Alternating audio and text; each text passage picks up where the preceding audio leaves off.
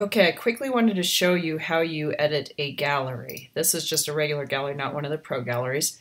Uh, when you click on it, you're going to click on this, it selects the whole gallery. The next thing you want to do is click on Change Images.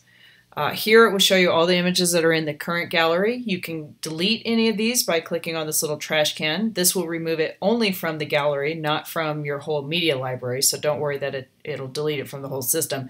It just takes it out of this specific gallery on this page. Uh, if you want to reorder these, very it's very simple. You just click on something and then you hold it and drag it into the new location. So on any of these, I want to click and hold, drag it up to where I want it to be. Um, and then let go of the mouse. So you click and hold on your mouse, drag it, and then let go on your mouse. Um, if uh, for some reason that doesn't work, sometimes when I add a whole bunch of images or I'm deleting or adding a lot of images, it gets a little hung up, the reordering process. So what I'll do is I'll get done adding and, and at least deleting and adding images. I'll hit done and then I will do the same thing, click on it and click on change images again.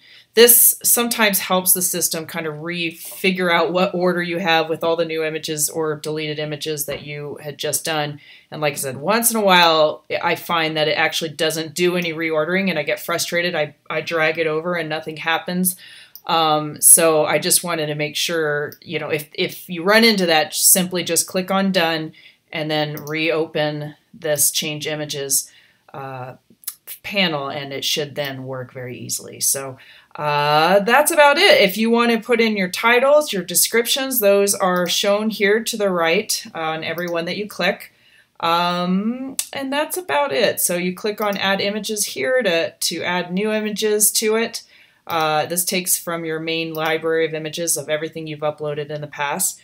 Um, and you can also adjust a couple things here with uh, some of the settings with adding new images if you want to just add them at the start of the gallery or at the end of the gallery or after the selected image. So that's good to use if you're um, adding a whole bunch of images and you want to make sure that they go into the order you want them. Um, and then also you can remove the titles or use the current titles. The current titles is going to pull the file name basically of that image. So if those are not well named, I would just use the without titles and then manually add them. That way, if you overlook one, at least it won't have a weird file name for a title um, and it'll look a more, little bit more professional. And that's about it. So when you're done with everything, just make sure to hit publish. And remember, if you publish and you mess up everything and you're really upset, you can always use the site history tool in the Wix um, dashboard, which is here, to recover um, any previously published versions of your site. So every time you publish, you actually get a little backup of that version.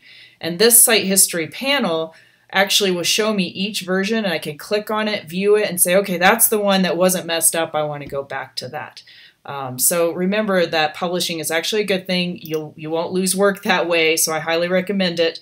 And, um, and just always remember to either save or publish your work often so that you don't lose any work.